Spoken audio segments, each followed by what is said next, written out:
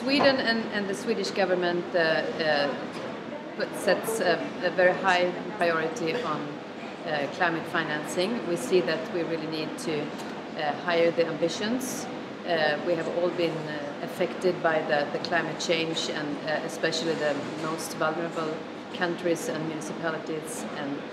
especially women and children are affected by climate change. So we need to higher the ambitions and we need to put focus on financing uh, and we need to cooperate and have collaboration with the, the local level and we do that together with uh, Sida. We, had a good, we have a good partner in Sida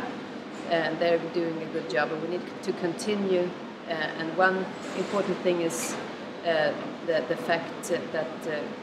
uh, we have engagement on the local level and, and a decentralized way of trickling down the money at that so they reach the, the people that are also sitting uh, on the negotiation table, especially women. Uh, I think it's very important to have a rights-based approach and also, uh, as I said, the decentralized uh, uh, way and that it comes from, from the people being most affected and from the countries and municipality that need to, that, that see the needs and, and have the climate change really in front of their eyes.